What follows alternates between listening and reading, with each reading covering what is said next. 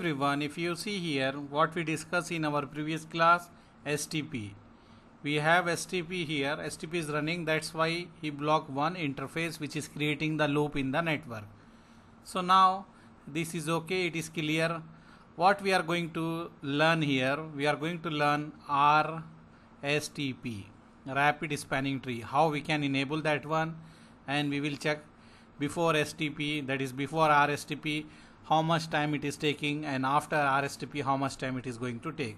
So example if you see here I can uh, take this cutter. The above link is working good. The link is good and it is in green but if you see the below link is having the one interface block.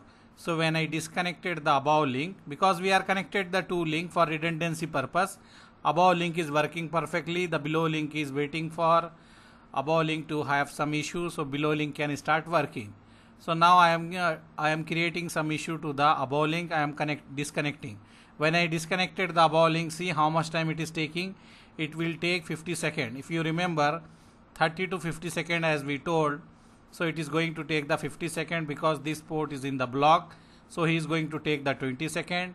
Then for listening and learning they are going to take 15 15 second so total 50 second they are going to take. After that this port will start working. Okay if you see it is taking still it is not working. It is taking time. So what we have here we have the delay. Now it become green. So to remove these types of delay what we will do? We will configure the RSTP so how we can do? You can go to the switch CLI of the switch. I will go to the CLI of this switch. Okay let me make this topology here so you can see topology and here we can take the CLI of that one. So here if you see I will go to the switch. How we can enable the RSTP we need to check. First of all I will show you currently which STP version is working here. If you write do show spanning tree and summary you can see that one. When I write do show spanning tree summary you can see PVST mode is enabled now. Currently what mode we have? Currently we have the mode PVST.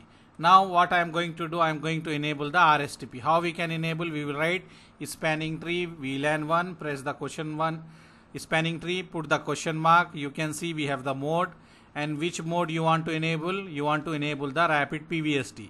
So just write this command. When you write this command, rapid PVST is going to enable here in this switch. Now I will go to the another switch. I am going to enable in this switch also. What I am going to do, I am going to first of all let me show you currently in this switch which version of STP is working? So when I write here show spanning tree summary. If I write here summary you can see this is a PVST mode. Okay this is a PVST mode. We can say this is a PVST mode. So now what I will do? I will go to the global configuration mode. I will write spanning tree mode. And which mode you want? You need rapid PVST right? So you will write rapid PVST and press enter now if you want to check you can write do show spanning tree summary and you can see we enable the rapid PVST mode. So now rapid PVST mode is enabled in this switch. And what we will do here if you see the below link is working here okay? The below link is working here. Above link is having one port block.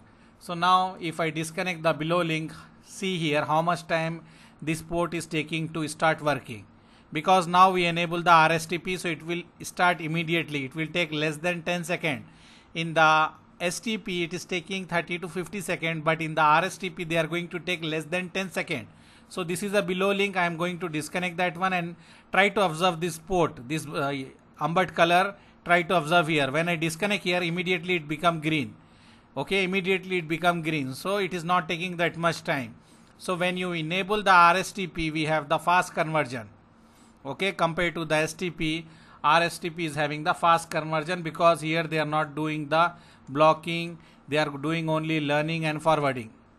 Learning and forwarding. That's why it is working fast. And if you want to check again I will show you how we can check which mode is enabled in the switch. You can write show spanning tree summary. With this command you can check which mode is enabled in the switch. So I hope it is clear for you in case if you face any issue whatsapp us try to join our telegram channel. In that one we are going to share more configuration. Okay? Face issue no problem. You can write here in the chat window or whatsapp us. Our team is going to support you. You can do this lab in the gns3 in the evng or you can do in the packet tracer. If your ram is low you can use the packet tracer but later try to start using the evng sometimes gns3 is giving the problem so better use the habit of using packet tracer and the evng okay? So use packet tracer and evng okay? I hope clear. It is clear. So in case if you face any issue whatsapp us. Thank you